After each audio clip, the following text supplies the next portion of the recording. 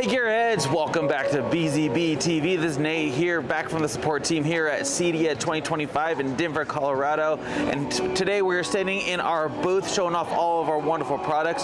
Right now I'm standing in front of our VP series. Our VP series is our Swiss Army knife of processors. It's a matrix, video wall, and multi-view all in one. It's a fan favorite because it can do it all. Uh, we have man- many different versions, many different levels, I guess you can say. We have the VP 44, which is four inputs, four outputs. The VP 44 Pro, which is the same thing, but also has video extension over Ethernet. We have the VP 88, eight, eight inputs, eight outputs.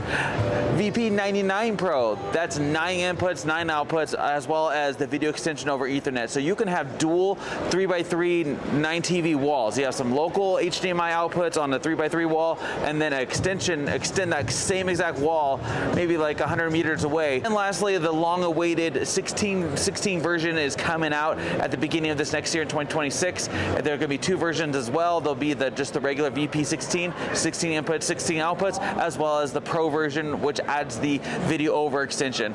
All these units have seamless switching, where you can control over our app on the web GUI, or even the the buttons on the front there. So control is very easy, very versatile. The app you can actually download on uh, any iOS device, PC, uh, iPad, iPhone to make it easy to control from a distance. Be sure to check out all of our VP series units on our website at bzbgear.com. And don't forget, have a great day.